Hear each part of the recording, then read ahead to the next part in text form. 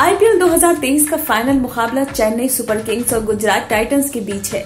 ये मैच 28 मई को अहमदाबाद के नरेंद्र मोदी स्टेडियम में खेला जाना था, लेकिन बारिश की वजह से खेल नहीं हो सका।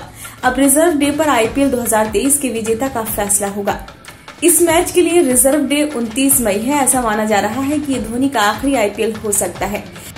ऐसे में उनकी टीम के खिलाड़ी और सभी फैंस उन्हें विजय विदाई देने की भरपूर कोशिश कर रहे हैं। पूरे टूर्नामेंट के दौरान धोनी जहाँ भी खेले फैंस उनके समर्थन में चेन्नई की जर्सी में स्टेडियम पहुँचे। अहमदाबाद में भी फैंस बड़ी संख्या में स्टेडियम पहुँचे थे और जीत के साथ धोनी को विदा करना चाहते थे। लेकिन बारिश ने उनके अरमानों पर पानी फेर दिया। बारिश की वजह से धोनी के अंतर्राष्ट्रीय करियर का आखिरी मैच सभी भारतीय फैंस के लिए भूलने वाला बन गया था।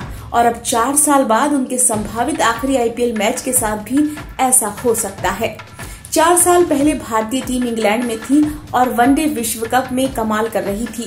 रोहित और कोहली के बल्ले से जमकर रन निकल रहे थे और टीम इंडिया आसानी से सेमीफाइनल में पहुँच गई थी।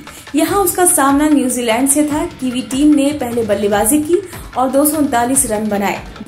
भुवनेश्वर की अगुवाई में भारतीय गेंदबाजों ने अच्छा प्रदर्शन किया था और टीम को फाइनल में पहुँचाने की ज़िम्मेदारी बल्लेबाजों पर थी। रोहित और राहुल की जोड़ी क्रीज पर पहुँचती। इससे पहले ही बारिश आ गई और उस दिन कोई खेल नहीं हो सका। ऐसे में मुकाबला रिज़र्व डे तक पहुँच गया। बारिश की वजह से इंग्लैंड में कीवी तेज गेंदबाजों को खासी मदद मिल रही थी और भारत के शुरुआती तीन बल्लेबाज सिर्फ़ एक रन बनाकर आउट हो गए। पंत 32 और कार्तिक छह रन बनाकर आउट हो गए। हार्दिक भी 32 रन बनाकर पवेलियन लौट गए।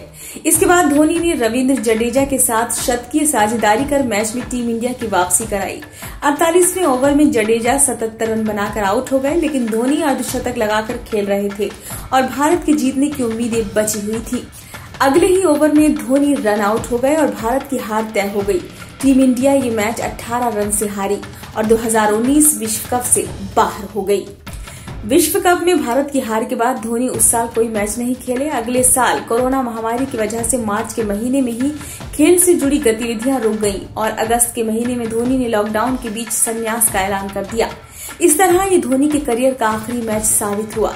आईपीएल से संन्यास को लेकर धोनी ने कहा है कि आईपीएल 2024 के ऑक्शन से पहले वो इस बारे में सोचेंगे। ऐसे में पूरे आसार हैं कि धोनी इसी साल के अंत तक आईपीएल से भी संन्यास ले सकते हैं।